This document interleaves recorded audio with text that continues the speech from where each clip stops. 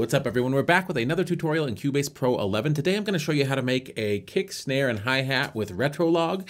I know that synths don't really sound like sampled instruments, but they have their own cool and unique sound, and I think learning how to make percussive sounds with a synthesizer is a good exercise in sort of learning what filters do, what your um, noise section does, and sort of how to craft sounds that aren't melodic with a subtractive synthesizer like Retrologue. So let's get into the project and start making some sounds.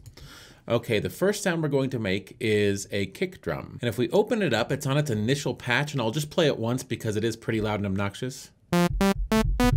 So um, that's what it sounds like when you open up Retrologue. If you want to make your own kick drum sounds, the secret sauce is always in the sustain levels and often the noise section of Retrologue. So I want to uh, put this back to a sine wave and I want to drop back two octaves. So that's here and here. I want to add a second oscillator that's also a sine wave. You can also make this a saw wave here, but I'll make it a sine wave and draw that back one octave. And then I'll turn on my noise, and I think pink noise works really well with uh, kick drum sounds, but white noise would also work. So this is what we're working with now.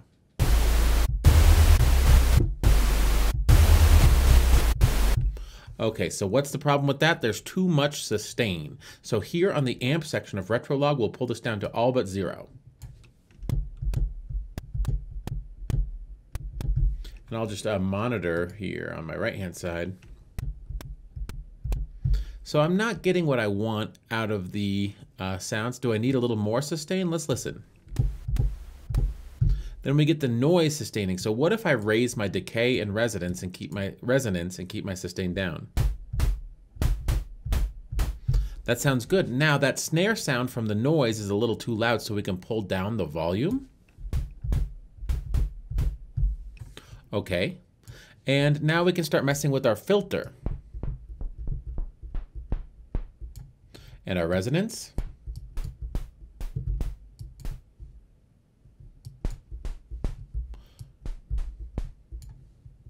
And I think clip distortion works well for a kick drum.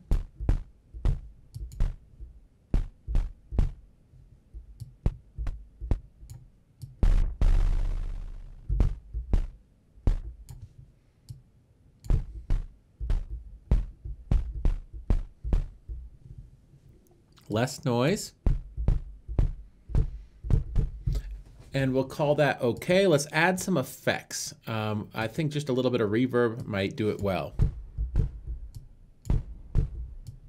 Main time down, lower the room size.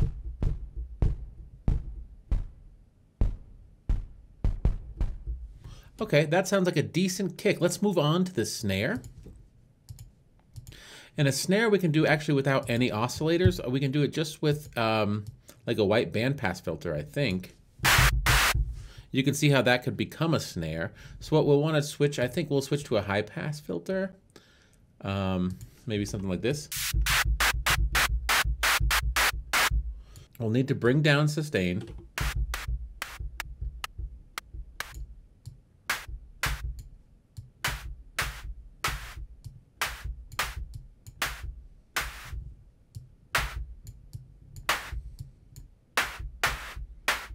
Okay, and now we can go into our FX section. Um, if we add a little bit of equalization, uh, I like a beefiness around 2K with snare, so we'll do that. And then of course we'll add a little reverb. Lower the room size. Lower the time.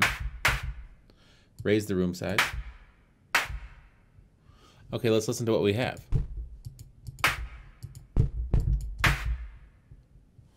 Okay, what can we do? I think that's fine for now.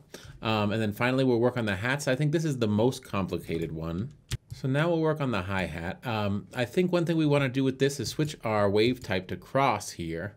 We can make this a square wave. And we want the phase to be fixed at zero. We'll add another wave um, oscillator.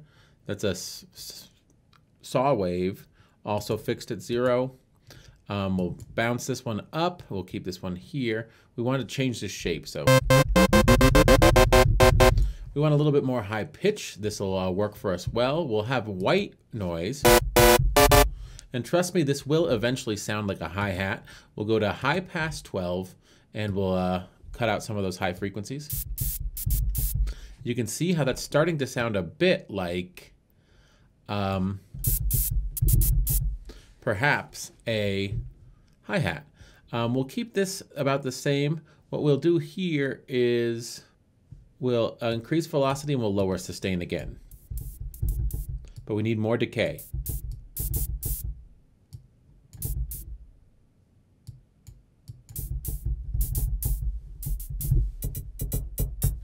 Starting to sound a little bit like a hi-hat. Now we can get into the effects section where we'll need a little bit of resonance, uh, high pass resonance, and we want to just have these be mega gained. Um, low can be around 300. You can already see there's more resonance, um, and we want to boost the resonance here. Uh, cutoff can be around, I don't know, 1500 here, and we want to really boost the resonance but not so that it's feeding back like that. Cool. And then finally, we'll do a very high one, 7,000 or so, and boost that resonance. I'll have to lower the gain or something. There we go. We have a decent amount of resonance. Uh, for our mod, I think we do want some mod effects. We want a flanger. That always helps it sound metallic. Let's uh, dial back the phase.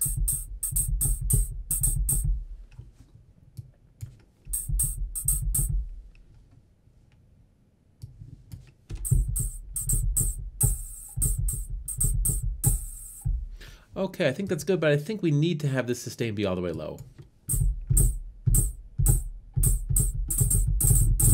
Cool. And then finally, I think we need just a little bit of reverb to match everything else. Less mix. Less main time.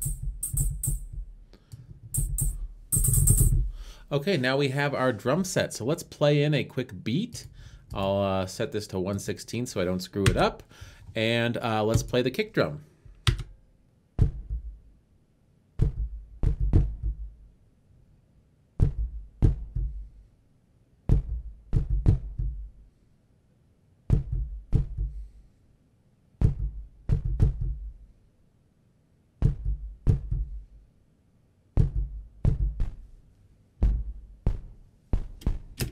Okay, uh, let's try the snare.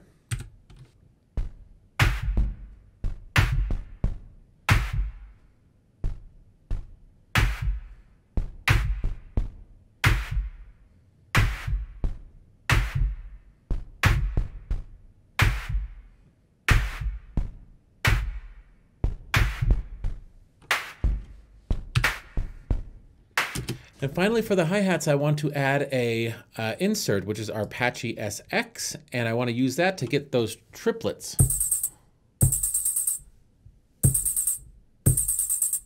And I'll try to play it right, but we can go back in and fix it if I don't get it quite right. So let's give it a shot. Um, let's switch this to 16 triplets since that's what I'll be playing. We'll have the auto quantize on, and let's give it a shot.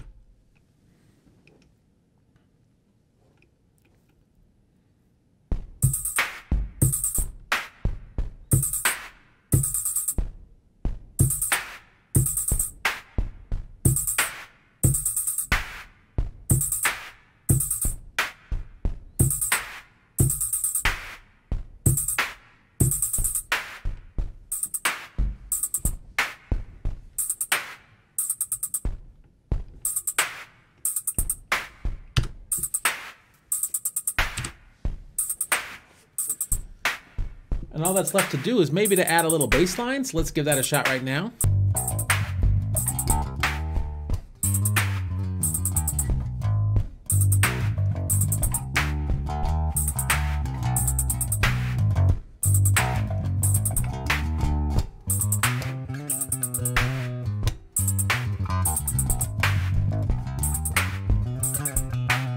So, th- and with that, I think we have a little bit of a track. Uh, this has been a quick tutorial on how to create drums and Retrologue. A lot of it is lowering the sustain on your amplifier envelope, but also using white noise creatively and adding a few effects. And before you know it, you can have workable percussive sounds in a synthesizer that you've created yourself. So I hope you found this helpful. If you have, feel free to like or subscribe, and I'll catch you in the next one.